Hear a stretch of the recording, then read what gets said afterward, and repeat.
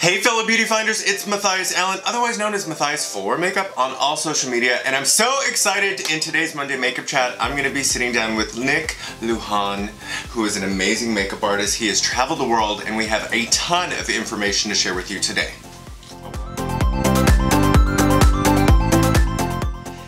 So in part three of this Monday Makeup Chat series that I'm doing with my good friend and guest pro makeup artist Nick Lujan, we're going to be talking about the difference between loose and pressed powder because I get a ton of questions mm -hmm. about that. I also do private seminars uh, with women of all ages in my makeup studio and they're always kind of like blown away by kind of the difference between loose and press and what the, the, the, application techniques are. So basically, what is the difference between loose and press first? Let's get into that. It's a good question. There's, there's a, a difference in ingredients. So when you have a press compact, it needs more ingredients to stabilize the loose powder because in the factory, we mm-hmm. talked about this earlier. Yeah. When you have a loose powder, or when you have a powder, all powders start out as loose powders. Right and then it becomes a uh, pressed powder when you add the right ingredients and you compact it into the packaging. So that's the biggest difference. Mm-hmm. And then the other difference is you want to think about what result are you trying to get and how often are you using your powder. Mm. So if I'm using uh, or if I'm using a creamier oil-based foundation, something a little bit more dewy, and I want to mattify that, I would probably use a loose powder in the morning mm-hmm. at my makeup station so that I can just kind of set where I want and make sure that it's matte and stain on. And that's great. It's going to smooth things out and make you look really fresh. Still, you'll be a little glowy. But then what happens after lunch or what happens halfway through your morning, you're sitting at your desk, you look in your mirror and you scream in shock because you're all, you're reflecting light everywhere because you're oily. Oh.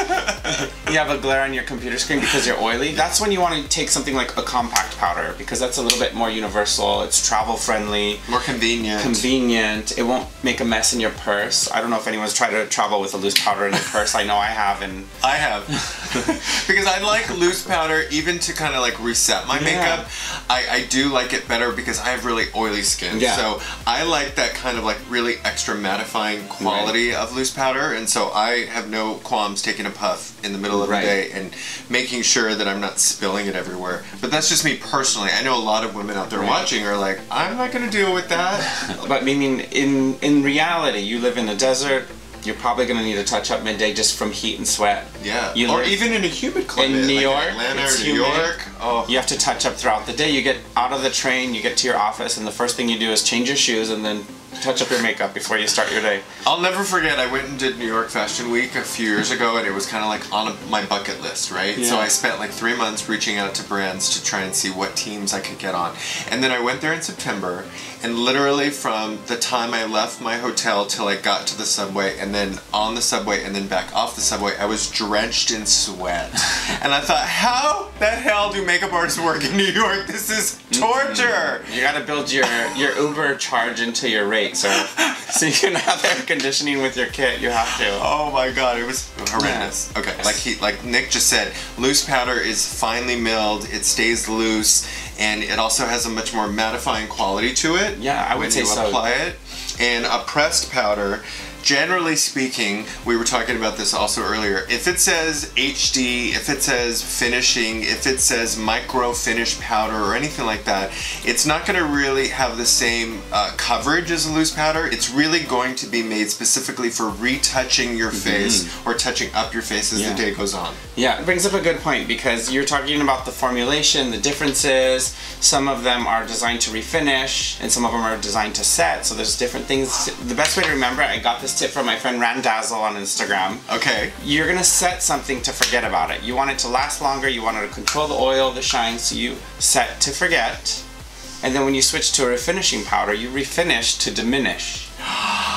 I love that. Set to forget, you get the wearability, you get the oil control, the shine control, but then you refinish to diminish the appearance of fine lines and pores and all of those things. So they have two functions. Yeah. Yeah. Okay, I love that. So, you know what? I, I also want to ask you in our next Monday makeup chat because Nick's going to be back on my channel. He's my very special guest. He's been on my channel multiple times already this season and he's coming back very, very, very soon.